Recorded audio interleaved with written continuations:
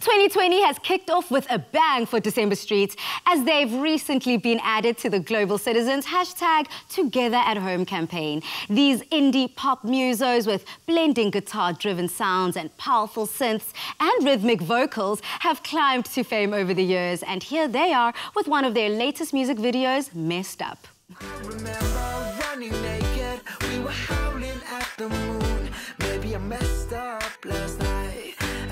Maybe up last night least I messed up with you.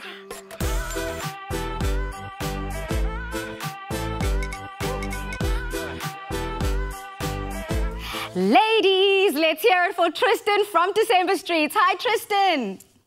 Hello, hello. Thanks for having me. Welcome to Afternoon Express. Looking oh so cool there. I feel like I need to be the next honorary member of December Streets. I think so. There's definitely some positions available. Auditions will happen next week. Thanks for letting me know, South Africa. You already saw it here first. Now, what have you been up to, Tristan, during this national lockdown? So I'm luckily fortunate enough to be locked down in a studio at my house. So I've been making a lot of music and reading a lot. I don't know, doing some self introspection, but planning the next steps for the band is mostly what I've been up to.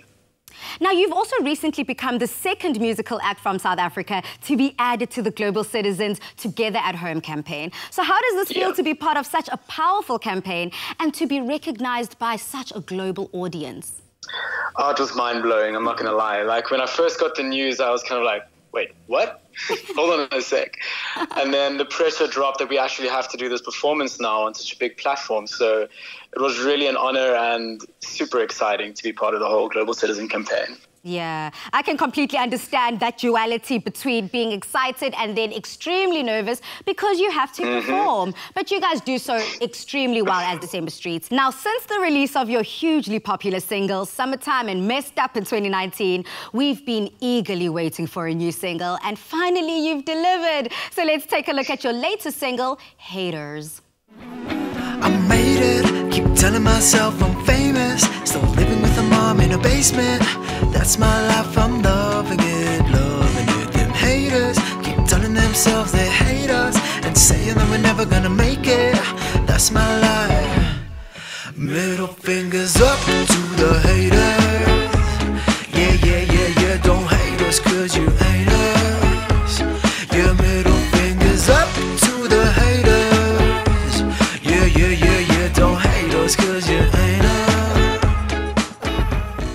The title Haters creates many questions. So what was the concept behind the idea of the track?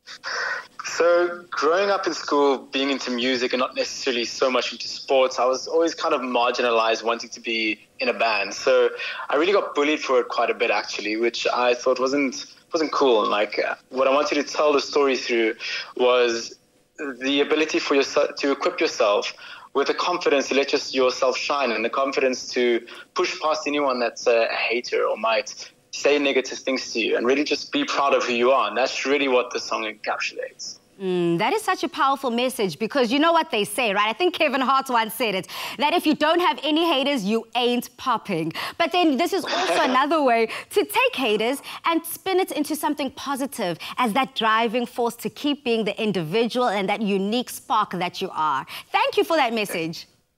Sure, exactly.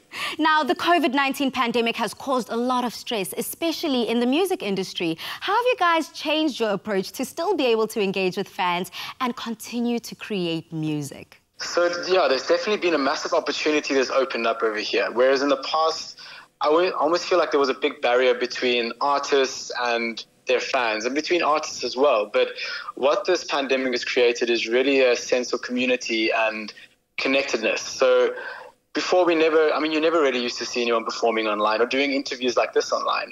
What I feel this pandemic has opened up is a combination of technology and a dropping of barriers. So reconnect directly with fans. We chat to fans directly, like far more openly than we would in the past. So I really think that's a massive positive spin-off and a really good way to market and engage. Mm. And I think fans love the fact that they have that direct connection to you. It just makes them feel part of the family. And I mean, even for us as fans of other bands and artists, we easily now reach out, you know, slide into their DMs and they respond and we chat and we collaborate. So there's really just this whole community in the music scene that we're we're trying to keep alive and keep pushing forward. And I think it's gonna it's gonna breed some beautiful things going forward. Mm, and speaking about going forward, what does the future look like for the December Streets? What can we expect?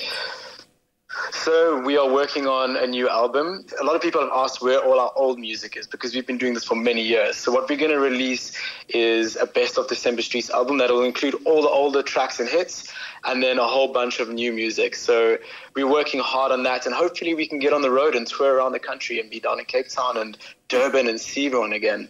That's what we, we're planning to do. Trust me, every venue is going to be filled. Looking forward to getting that greatest hits album from the December Streets. Thank you so much, Tristan. Thank you for having me. We cannot wait to see it all unfold. Tristan, again, you're joining us here on Afternoon Express and you keep sharing your creativity with us, which we are so grateful for. To all of those at home, remember to embrace your individuality and to be proud of who you are.